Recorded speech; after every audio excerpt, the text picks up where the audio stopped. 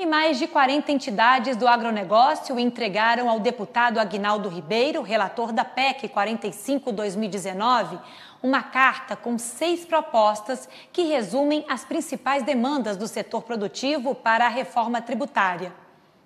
Entre elas estão a desoneração total da cesta básica e dos insumos agropecuários e o tratamento diferenciado às cooperativas agropecuárias. O texto é assinado por representantes de produtores rurais, da indústria de defensivos, fertilizantes e rações, de tradings, de processadoras de alimentos voltadas aos mercados interno e externo, de frigoríficos e também do sistema cooperativista. A carta também deve ser entregue em breve à ministra da Agricultura, Tereza Cristina.